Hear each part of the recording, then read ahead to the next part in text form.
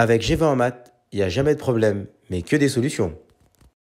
À travers cette vidéo, nous allons voir ensemble comment montrer que deux droites sont coplanaires. Donc en fait, ici, on définit deux droites qu'on donne sous écriture paramétrique. Et donc la question très simple est de démontrer que les droites, est-ce que les droites D1 et D2 sont coplanaires? Donc en fait, ici, dans un premier temps, on va déjà donner la définition de deux droites coplanaires. Et donc on voit ici que deux droites sont coplanaires si elles sont soit parallèles, soit séquentes. Et donc la première chose qu'il va falloir faire, eh c'est vérifier déjà dans un premier temps si on a bien des droites qui sont parallèles. Parce que si elles sont parallèles, on a tout de suite la réponse à notre question. Donc, démontrer des droites parallèles, ça fait l'objet d'une vidéo. Donc ici, on rappelle rapidement qu'on va prendre les vecteurs directeurs de chacune des droites. Donc là, ici, on a 2, moins 1, 1. Je rappelle que le vecteur directeur, c'est le coefficient devant le t, donc 2, 1, moins 1. Et pour la deuxième droite, donc là, devant le t', 1, 3 et 2. Et donc, on a deux vecteurs ici qui sont directeurs. Eh bien, on va vérifier leur collinéarité. Et donc, on voit très bien en fait que si je fais 2 divisé par 1 et 1 divisé par 3, on a des droites qui, qui ne sont pas, en termes de vecteurs directeurs, proportionnels. Et donc, dans ce cas, les vecteurs, ici, ne sont pas collinéaires, ce qui permet de dire en fait que nos droites D1 et D2, elles ne sont pas parallèles. Donc, comme elles ne sont pas parallèles, on va passer à l'étape numéro 2 et on va regarder est-ce qu'elles sont séquentes? Et donc, en fait, ici, pour montrer que des droites sont séquentes, on va être amené à résoudre un système. Donc en fait, ici, je vous expliquais comment on va déterminer le système. En fait, si des droites sont séquentes, d'accord, c'est-à-dire en fait qu'à un moment donné, elles vont se croiser. Donc si elles se croisent, eh bien, elles vont se couper avec un endroit où il y aura la même valeur de x, la même valeur de y et la même valeur de z. Ce qui veut dire en fait que le x de la première droite doit être égal au x de la deuxième droite. Que le y de la première droite doit être égal au y de la deuxième droite. Et la même chose pour le z. C'est pour ça en fait qu'ici, on se retrouve à avoir 2t-1 qui doit être égal à t'-2, c'est-à-dire en fait que le x de la première droite, comme on a dit, doit être égal au x de la deuxième droite. Et ensuite, on doit avoir les y égaux, donc c'est pour ça que ça nous donne t plus 6 égale 3t' plus 3. Et ensuite, moins t plus 4 égale 2t' plus 2.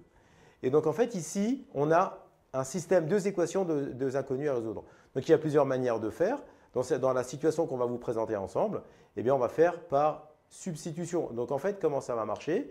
Tout simplement, avec la première ligne, comme on a t', moins 2 ici à droite, eh bien, on va passer le moins 2, d'accord? On va le passer à gauche. Et donc, ce qui va nous donner ici 2t moins 1 plus 2 égale t'. Et donc, on a réussi à exprimer la valeur de t' grâce à la première ligne. Et on va pouvoir maintenant remplacer tous les t' par la valeur ici. Donc ça va nous donner, donc on va le faire, j'ai détaillé avec vous toutes les étapes. Donc on a réduit l'expression 2t moins 1 plus 2, ce qui m'a donné ici 2t plus 1 égale à t'. Et donc là, comme vous voyez, le t' qui est ici de la deuxième ligne et le t' qui est ici à la troisième ligne, eh bien on va les remplacer par la valeur 2t plus 1. C'est ce que j'ai présenté ici. Et donc on va maintenant développer, d'accord? Donc ça va nous faire 6t plus 3 plus 3 et ensuite ici 4t plus 2 plus 2. Et donc ensuite, on va se retrouver, comme vous voyez là, si vous voulez, maintenant c'est une équation à une inconnue, parce qu'il y a t à gauche et t à droite.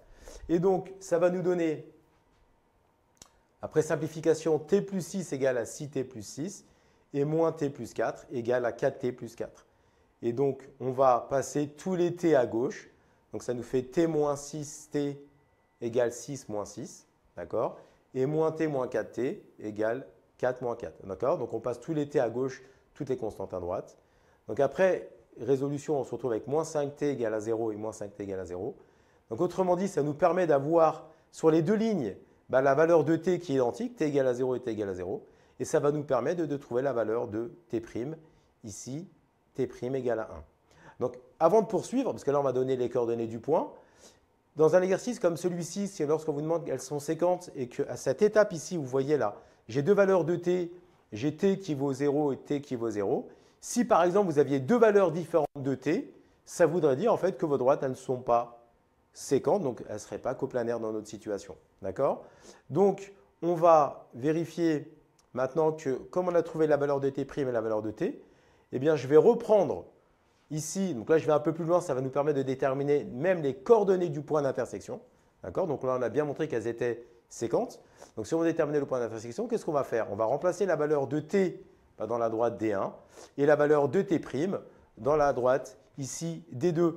Et donc ça va nous donner, on va vérifier qu'on a les mêmes coordonnées. Donc je remplace, on a dit ici dans la droite D1, tous les T par 0, ce qui va nous donner à la fin moins 1, 6 et 4. Et dans la droite D2, on va remplacer tous les T' par 1. D'accord Et ce qui nous donne en fait exactement la même chose. Et ça nous permet de dire en fait que les coordonnées que vous venez de trouver ici, le moins 1, 6, 4, c'est les coordonnées du point d'intersection entre vos deux droites. D'accord Donc on va pouvoir conclure que les droites elles sont bien séquentes. D'accord et donc, autrement dit, par rapport à la question qui était initialement posée, c'était est-ce qu'elles étaient coplanaires? Donc, on va pouvoir répondre effectivement qu'elles sont coplanaires. Comme tu as kiffé la vidéo et que tu veux des bonnes notes en maths, alors tu mets un pouce bleu, tu t'abonnes à notre chaîne, tu poses un commentaire, on y répond sans problème. Ensuite, on t'embarque avec nous sur g des exercices corrigés, des détails de ouf avec ça. Plus d'excuses pour pas avoir de bonnes notes en maths. Et bien sûr, rendez-vous sur nos réseaux sociaux.